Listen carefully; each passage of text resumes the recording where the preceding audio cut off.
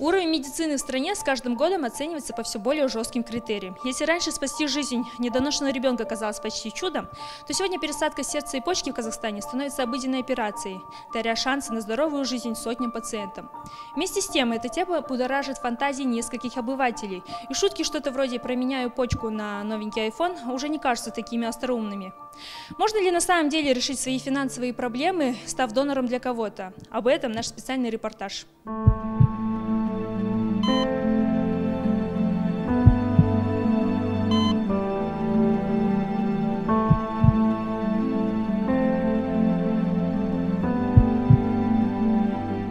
Трансплантация органов – один из основных показателей уровня развития не только медицины, но и государства в целом. Во-первых, это достаточно дорогостоящие операции. Во-вторых, требует очень высокой квалификации специалистов, которые их проводят. Лидером в этой области является Испания. Там трансплантация органов законодательно регулируется с 1964 года. В Казахстане такие операции практикуются уже 6 лет. Ежегодно в стране проводят около 300 операций. И законодательно тоже вроде все отрегулировано. Однако вопросов, как и пациентов, нуждающихся в пересадке, меньше не становится. На сегодняшний день в донорских органах нуждаются более трех тысяч казахстанцев. Бибигуль Жукенова в ожидании двух легких. Когда после нескольких лет мытарства по больницам в декабре 2016 года ей наконец-таки поставили точный диагноз интерстициональное заболевание легких, то сразу же включили в лист ожидания, как требующего срочной пересадки легких. Но у меня получается сейчас практически нет легких. У меня сейчас сердце, ну, у сердца двойная нагрузка, она как бы работает и за легкие, и за сердце. То есть почему это так произошло? Это, наверное, много факторов.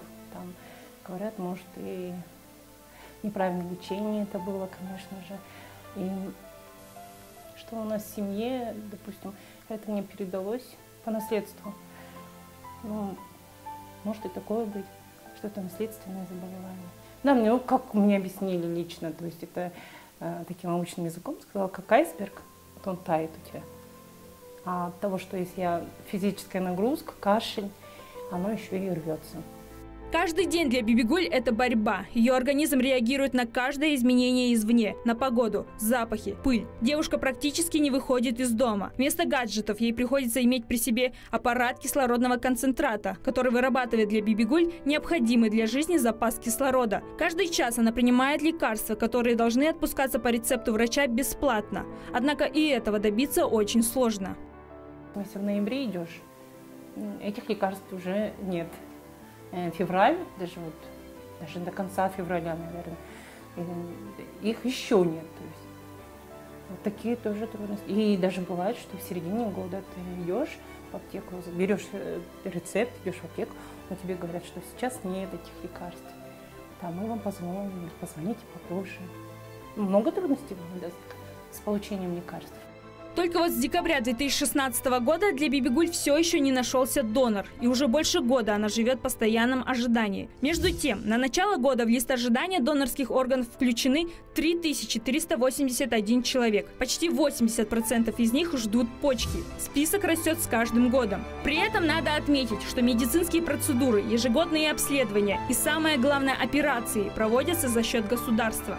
И в казахстанских клиниках сегодня созданы все условия для того, чтобы проводить операции по пересадке органов. В Центре трансплантологии четко отлажена система координации со всеми больницами страны. В любой момент, когда в лечебных учреждениях появляется потенциальный донор, незамедлительно оповещается Республиканский центр координации. Оттуда за каждым органом выезжает отдельная бригада специалистов. В среднем она состоит из 13 человек. При трансплантации сердца у нас э, основном бригаду трансплантационную входит у нас кардиохирург, э, анестезиолог, перфузиолог, операционная сестра и кардиолог.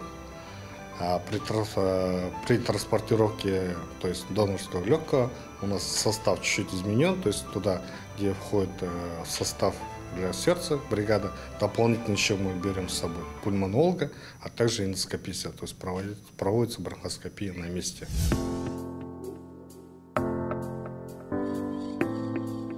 После изъятия наступает самое ответственное время – роковое. За несколько часов орган должен быть доставлен в клинику. В это же время туда прибывает реципиент. Проводятся анализы на тканевую совместимость и сама операция. Максимальное время, за которое почка может функционировать вне организма – 12 часов. Печень – 10. Сердце и легкие могут выдержать 6 часов. Однако у нас в стране зафиксировано рекордное время работы сердца вне организма – 16 часов. Бригада врачей везла сердце из Петропавловска на поезде. Это большой нонсенс для мирового сообщества, когда на счету каждая минута для спасения человеческой жизни перевозку осуществляют железной дорогой. Печень и почки до сих пор перевозят в боксах со льдом. А для транспортировки сердца и легких в столичном научном национальном кардиохирургическом центре есть уникальный аппарат Transmedics. Его используют лишь в шести клиниках мира, а среди стран СНГ он есть только в Казахстане. Также одним из уникальностей этого аппарата является то, что при транспортировке донорского органа э, мы можем подлечить сердце э, в этом аппарате. Мы можем взять анализы, можем откорректировать все составы газа, э, можем снизить уровень лактата, сделать фильтрацию. И как бы по приезду в клинику до пересадки сердца к реципиенту мы можем полностью восстановить функцию сердца. Если исходно сердце снижена была как бы физиолог... функция сердца, сердца, мы можем это все восстановить как бы, при транспортировке этого органа.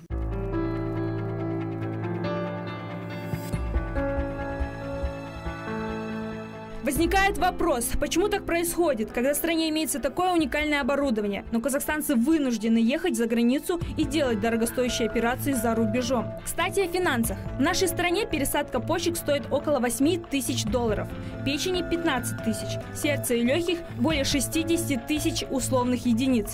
За границей такие операции в 3-4 раза дороже. Только вот проблема вовсе не в деньгах, проблема в донорах, вернее в их отсутствии. С 2009 года существует основной э, закон здравоохранения, кодекс о здоровье народа в системе здравоохранения. И статья 106, 169 этого кодекса гласит о том, что в Казахстане существует презумпция согласия на донорство. Что это означает? Это означает, что все граждане Казахстана потенциально являются донорами. В случае, если он попадает в клинику и у него диагностируется смерть, то врачи вправе изымать органы для последующей трансплантации. Еще один нюанс. В нашей стране запрещено изъятие донорских органов у детей до 18 лет. Поэтому маленьких пациентов, которые нуждаются в сердце или легких, отправляют в зарубежные клиники. Также в Казахстане запрещена продажа органов. То есть продать или купить чью-то почку, печень или еще какой-либо орган никто не сможет. Это уголовно наказуемое деяние как для самих продавцов и покупателей, так и для врачей, которые вдруг решатся провести такую операцию. Однако известны случаи, когда подобная трансплантация все же проводилась. Ведь тех же медиков можно легко убедить в том, что донор желает добровольно помочь реципиенту. И в этом случае законодательство все еще несовершенно. Во всем мире уже давно э, общество пришло к мнению, что для того, чтобы э, предотвратить торговлю органами нужно развивать именно посмертное донорство. Вот. Э, в частности, всемирные э, принципы, принципы Всемирной организации здравоохранения по трансплантации, Стамбульская декларация и многие другие международные договоры, документы, они именно рекомендуют развивать посмертное донорство. Мы уже рассказывали, что в процессе изъятия органа и пересадки его реципиенту участвует огромное количество специалистов, зачастую специалисты узкой квалификации. Они задействованы практически на каждом этапе как подготовки, так и проведения самой операции. Так что скрыть какие-то незаконные действия практически невозможно. Но почему фантазии обывателей о нелегальном рынке человеческих органов только растут? А люди пытаются на этом заработать. Как отмечают адвокаты, на черном рынке преобладает именно живое донорство, а не трупное. Люди продают свои почки. Причем каждый оценивает их по-своему. Операция по пересадке органов родственников предусматривает определенный перечень документов. Среди них нотариально заверенное согласие и другие документы, без которых никакой врач не приступит к операции.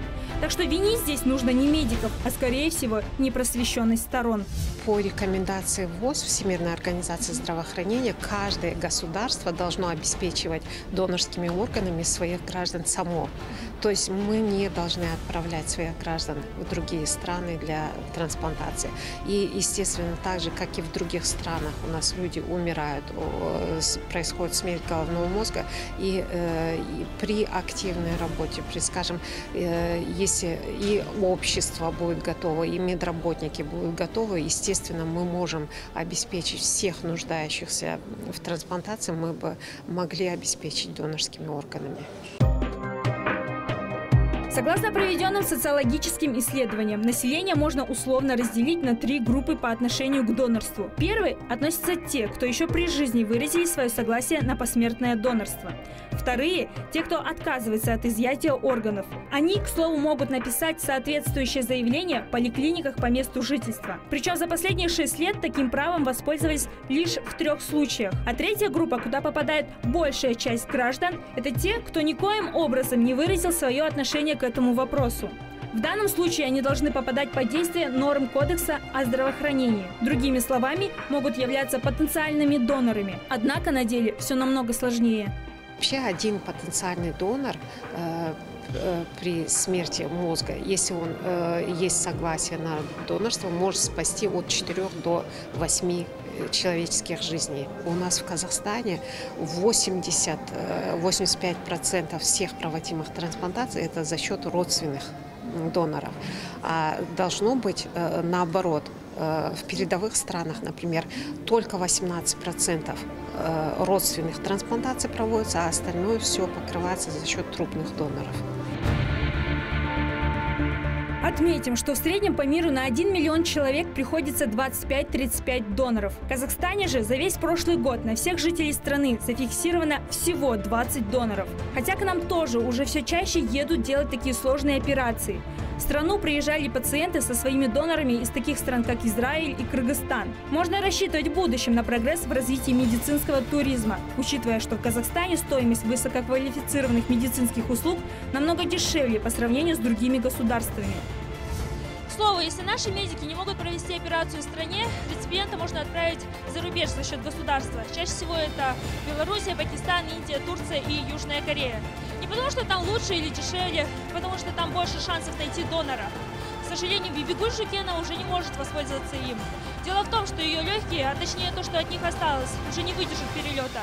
Длительное путешествие наземным транспортом ей также противопоказано.